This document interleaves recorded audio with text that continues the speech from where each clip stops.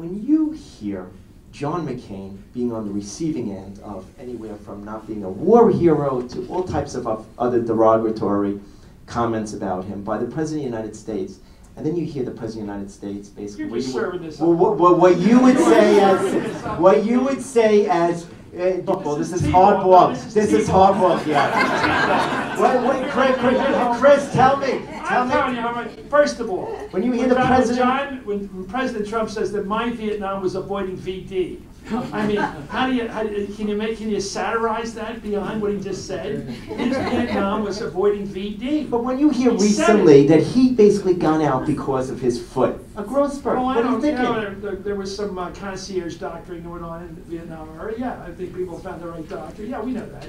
But John McCain, first of all, did not. He wasn't some guy who was in a um, in a foxhole who puts his hands up.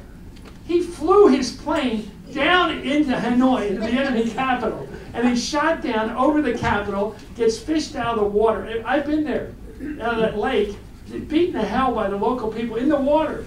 They started beating him up in the water. He comes out with both arms broken, legs broken, put in prison for seven years. How did he chicken out?